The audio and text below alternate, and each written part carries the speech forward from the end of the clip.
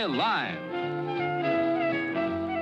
Brought to you by Helene Curtis, makers of Stopette deodorants, flowing cream, spray, and stick, Suave hairdressing, and Enden dandruff treatment shampoo. Now let's all play What's My Line?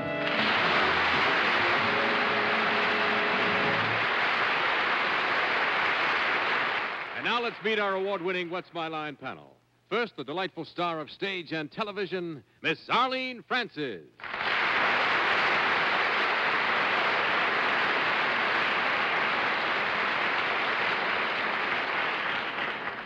And now a gentleman who is wearing a bachelor button as a boutonniere, which doesn't fool me for one minute. Mr. Martin Gabel.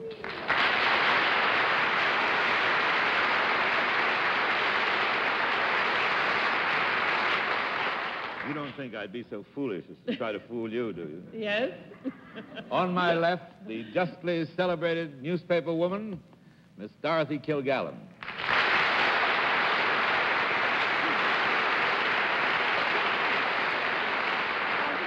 What are we celebrating? Your celebrity. And on my left are devil may care, peripatetic, fly by night panelist, Bennett Cerf.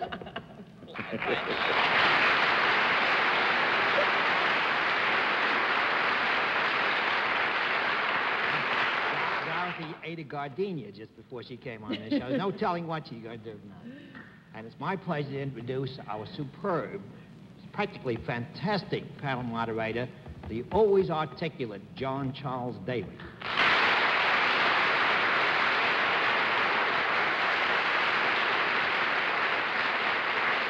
Good evening, ladies and gentlemen, and welcome to What's My Line. The panel is in fine fettle this evening, and we have some fine occupations with which to test their mettle because they're in fine fettle. We'll also have a famous mystery guest before my friends a little bit later in the show, and we'll meet our first challenger in just one. All right, panel, we're ready for the first challenge of the evening. Will our first contestant come in and sign in, please?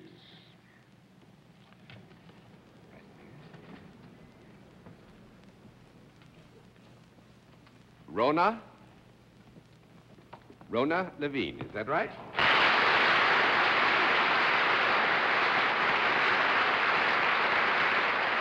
Is it Miss or Mrs. Levine? Miss Levine. Miss Levine. Miss Levine, the panel. Good Panel. evening. Miss Levine, would you come over here and join me now?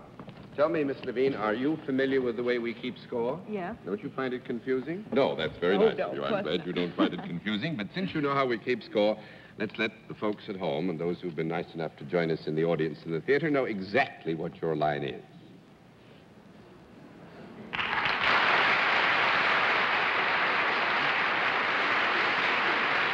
right, panel. One bit of help. Miss Levine is salaried, and we'll begin the general questioning with Bennett Cerf. John, did you omit the place where Miss Levine came from purposely or accidentally? Just wanted to see if you were all on your toes. Miss Levine, will you tell them where you're from? Well, I live in New York. That's, don't say another word. Miss Levine, uh, you're a very trim, well-garbed, well-coiffured lady. Let's get our Have you mind on the show, Mr. Cerf. I was about to ask if you had anything whatever to do with the world of fashion. No, I don't. One down and nine to go, Miss Francis. Do you work for a profit-making organization? Yes. Not much profit this year? uh, do people come to you for your service? Yes.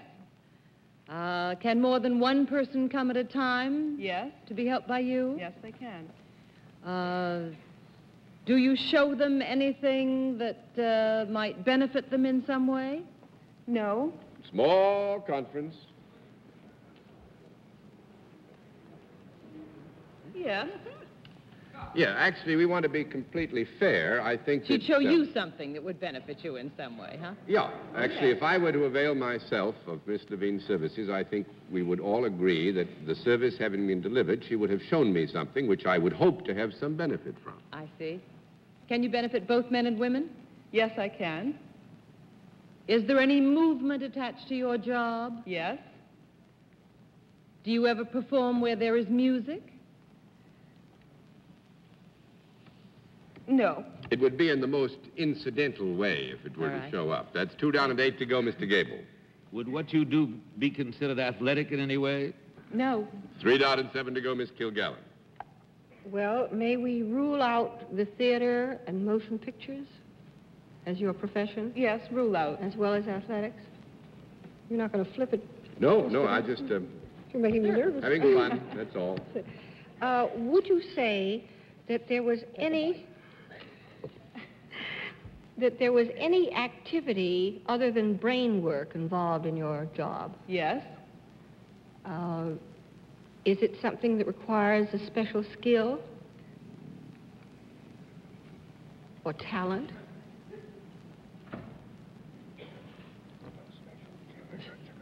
No. Or That you're just being four- modest? Four down and six to go, Mr. Cerf. Miss Levine, you said there was movement connected with what you did. That's right. Would this be the movement of any kind of vehicle? Possibly. Would it be a vehicle that is uh, firmly rooted to the ground? That is, I mean, it might move, but would not go up in the air or underwater or on water. Would it do any of these things? Is that what you're asking? Well, uh, No, the way I put it, if it does do any of those things, I'd get a no, because I was asking if it was possibly a land vehicle, like an automobile or a bus. Yes, that's right. It is a land vehicle. Mm-hmm. Yes. Has it got anything to do with an automobile? Yes. Do you teach people how to drive an automobile? I would like to. That still gives you a no answer. That's five down and five to go, Miss Franklin. If you would, We yes, think we know down here by now. if you would like to teach somebody how to drive, it means that you do have arguments with other people on the road, that you might disagree with the way they turn or the way they move on the road. No. That No? makes it six down and four to He's go. not attacking. Now, what was it you were saying, Martin? We thought we knew. As in most of those cases, we don't. Is driving something your central profession? Driving something, the central profession. A vehicle of some kind? No. That makes it seven down and three to go. I'm going to give you one more minute. Now, John has said that if he availed himself of your services, you would show him something. Yes. Has this something something to do with the vehicle that we're trying to discover? It could be. Mm-hmm. Could it be something else? Yes. Yeah. Oh. Uh, in showing him, would you be trying to sell him anything? I beg your pardon? Would you be trying to sell him anything No. in showing No, him this? that's eight down and two to go, Mr. Cerf. Well, Miss Levine, have you got anything to do with some automobile company in one capacity or another? No. That's nine down and one to go, Miss Francis. Uh, You want to have do a fun? you know? No, may I ask a question? May I ever? Uh, do you know something about the interior of cars? We all do. No, I don't. I don't. You mean you mean engines? Does it mean something to you in your work to know something about what goes on inside of a vehicle? No. No, that's ten down and no more to go. And I must say that this was a real rough one because Miss Levine is a uniformed doorman at Le Valois restaurant here in New York and has so been for two months.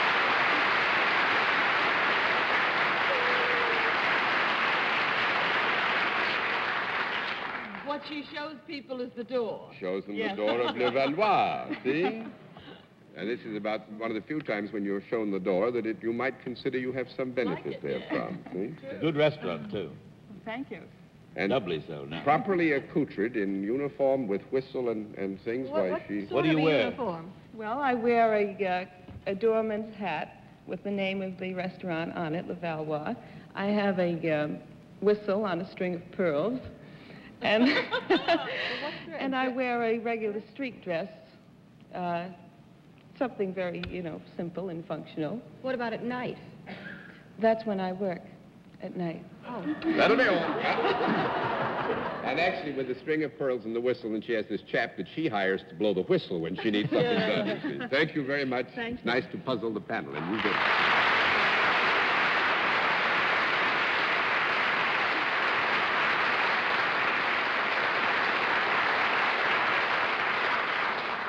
Panelette, was I told you it was going to be a rough night. Let's see what you can do with the second challenger. Will you come in and sign in, please?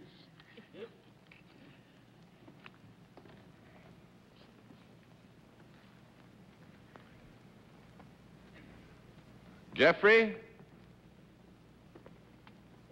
Jeffrey Ford. Is that right, sir? Uh, Ford, where are you from? New York City. New York City. Well, fine. Then uh, I think perhaps this is not necessary, really. Mr. Ford, the panel. Panel, Mr. Ford.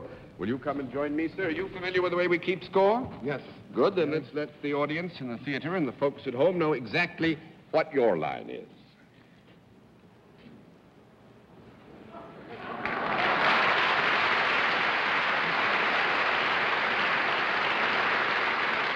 All right, panel. Mr. Ford is self-employed, and let's begin the general questioning with uh, Mr. Gabel. Mr. Ford, do you wish you were born in Detroit? I got it. I have to have a wife for to get a joke like that. Ford, you see. And that, uh, go ahead, Martin. Thank you. You're dead on that one. Is there a product connected with what you do, Mr. Ford? No. That's one down. It's been a glorious evening so far. Don't be discouraged, Martin. I never am. Miss Kilgallen? Then you specialize in services, Mr. Ford. Yes. Uh, could all of us on the panel enjoy your services? I think so. I say yes. And I can think of some who might need them. Well, go on. Well, then I take it that people are better off in some way after having availed themselves of your service. I make that claim, yes. Do they do this voluntarily? Yes. Uh, do people come to you one at a time ever? No. No. That's uh, small problem, please.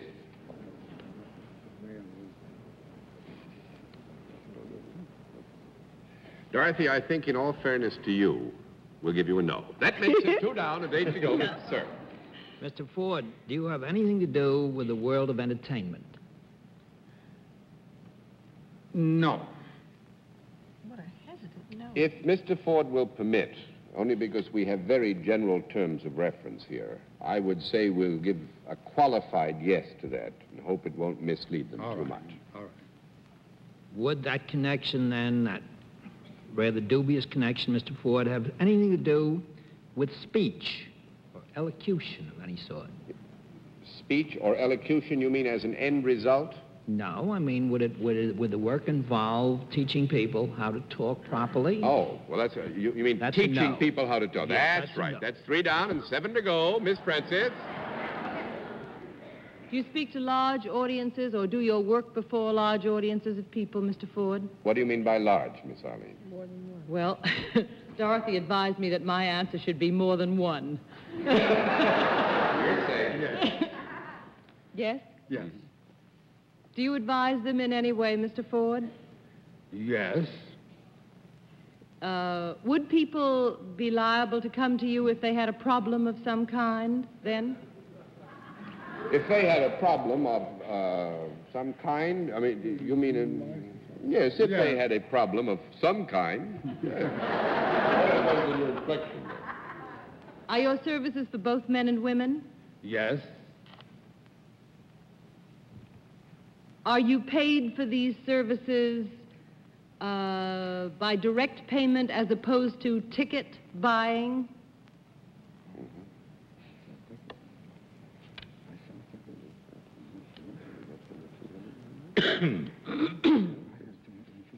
Oh, I see. Well, fine. In that They event, buy I think- tickets for Mr. Ford's uh, performance or whatever? You anticipated something, yes, that's right. You got to know. That makes All it right, John. four down and six to go, They do Mr. buy Gabel. They do buy tickets. They do buy tickets. hmm Would I be right in saying that not that some of them uh, achieve your services in another way, without buying tickets? You mean somebody gets in Mhm. on a pass? Yes. The answer is yes. Thank you. That has led me exactly nowhere. you address groups of people, some of whom buy tickets to hear you, and others you either let in free or they belong to a yearly plan of some kind. That- No. No, No. no, that's very good, Martin. You Thank got you. yourself I a talked no my way that out of time. That's fine. That's Since five I haven't a five. clue, I, I'd better be off. five down and five. I'm going to give you one more minute because you don't seem to be getting close to this one. All right, Mr. Ford, I don't care who pays you, but I would like to know what you do. Do you do anything of a hypnotic nature.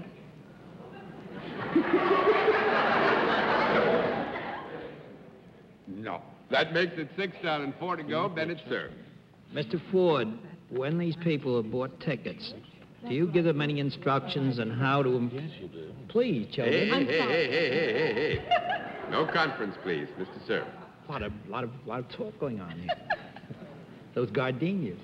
Mr. Ford, uh, do you teach people or give them advice of anything connected with family life? No. I've had it. I'm flipping the whole mess. No, I just ain't going to get in any more trouble. That's all there is to it. No, actually, you're not getting close, and the minute is up, and I will tell you that this, is, again, was a very tough occupation. Mr. Ford teaches a school for horse players. He lectures, and he has a correspondence service.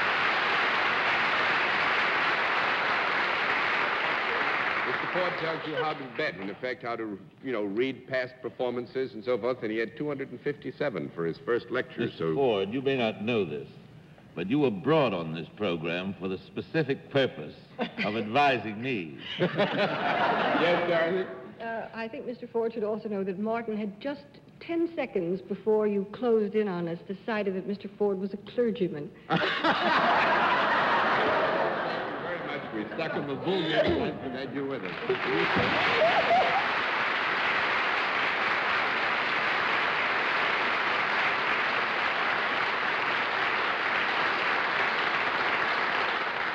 Meet tonight's mystery guest in just a moment, but first here is a word from our alternate sponsor.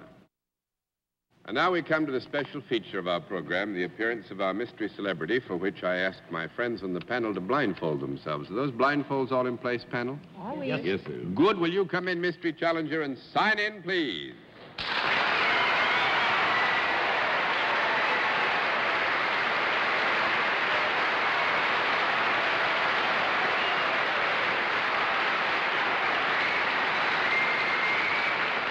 All right. Panel, as you know, in the case of our mystery challenger, we go to a different form of questioning. You ask one question at a time in turn, moving clockwise, and we'll begin it all with Arlene Francis. Are you dearly beloved in the entertainment world? I will answer that with a good hearty yes for our guest, Mr. Gabel. Are you male? Hmm, yeah. Miss Kilgallen? Are you a singer? Hmm, yeah. Uh, with our guest permission, I will say yes and no, which will indicate something. You know what I'm... Mr. Cerf? Are you a star in motion pictures? Hmm, yeah. Miss Francis? Have you appeared in the theater? Oh, sure. Mr. Gabel? Have you appeared for a longer time in the theater than you have in motion pictures? Nah. One down and nine to go, Miss Kilgallen. Are you under 30? Nah. Two down and eight to go, Mr. Cerf. Are you in a picture that is either playing in one of the big theaters on Broadway now or is about to open there? No, I ain't. Three down and seven to go, Miss Francis. Uh, since you sort of sing and don't, do you sort of dance and don't too? Oh, sure. Mr. Gabel? I wasn't in your company the other night, was I? Yeah. Miss Kilgallen? Fred Astaire?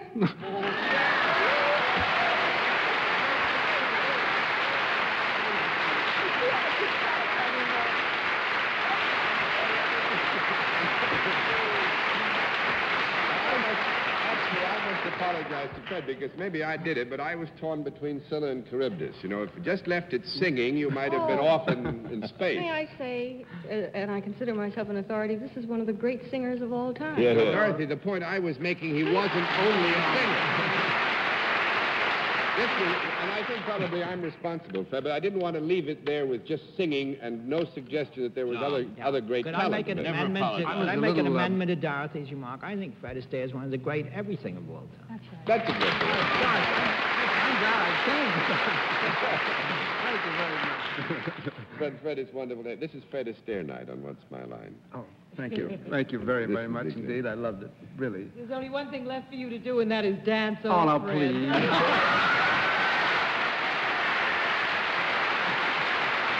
I love to walk. I really do. Just dance off. Just go over there and. Just-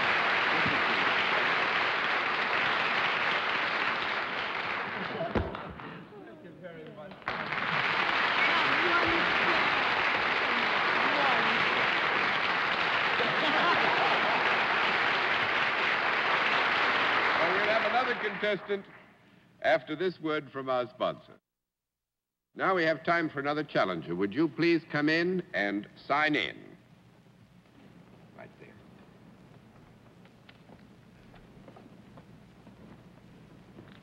Nina or Nina? Nina. Nina Lawson, is that right? And is it Miss or Mrs.? Miss. Miss Lawson, and where are you from? New York City. You're living in New York City? Now, you get a bit of a burr here in New York, did you now? Well, I came from Scotland. You came from originally. Scotland. I thought that might be so. Miss Lawson, the panel. Panel. Miss Lawson, would you come here and sit next to me? Do you know how we keep score, Miss Lawson? I do. Well, fine. Then we'll let the folks at home and those who are in our audience here know exactly what your line is. All right. Panel, you have about three minutes. Miss Lawson is salaried, and let's begin the general questioning with Dorothy Kilgallen. Uh, Miss Lawson, uh, is there a product involved in what you do? Yes, there is. And do you work for a profit-making organization? No. That's one down and nine to go, Mr. Cerf. Yeah, well, that's very interesting. Non-profit from Scotland? That's not possible. May I go on, Arlene? Yes, Miss Lawson, does your uh, employer then, is it some form of government? No. That's two down and eight to go. Miss Francis? I'd go to work on the product if I were you. I think we better work on the product, yes, John. Is this a useful product? Yes, I would say yes. Do most people have this product? No. Oh. All right. I'm Rephrase it. John will give it to me. Sorry, three down and seven to go, Mr. Gabel. Most people do not have this product. That's the first yes I've had all evening. already. uh, is it worn more by men than women? What makes you think it's worn? Or is that your way of getting the I question? don't Is know. it worn more by men than women, did you say? well, That's I must. fine. I leapt to the worn. Well, Uh, you, I gather it's worn, so I've skipped everybody a question. you're still out there in space on that leap, son. I'd just get me a parachute right All right, soon if but I that's were a wonderful you. Scotch accent you got there, John. Four down and six to go, Miss Miss Kilgallen. Lawson, is this product used more by one sex than another, would you say? No. That would you make just say it don't uh, everything, don't you? Five down and our five to go, Mr. Cerf. Miss Lawson, would this product be used more in times of stress or war than in times of peace? No. No, but it's a wonderful question, Bennett. You'll enjoy it when we get this one revealed. That's six down and four to go, Miss Francis. Miss Lawson, is this product uh, that you have to do with alive, or has it ever been alive? No. Never been alive. And we've just run out of time, so I'll throw the rest over.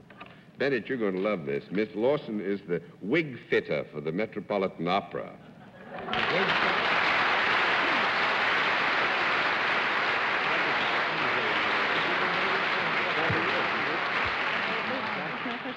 This is your first season with Yeah. Metropolitan. Well, fine. We'll send the panel down for whatever you can do for them. They need a little help tonight. Nice to have you with us. Will you say good night to them?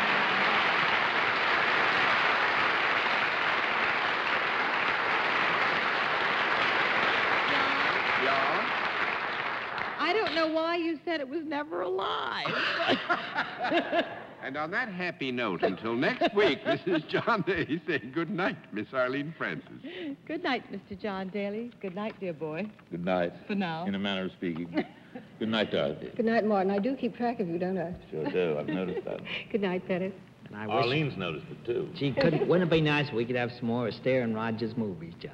That would be a wonderful Good night. idea. Wonderful idea. Thank you, Bennett. Good night, ladies and gentlemen. Thanks for being with us on What's My Line.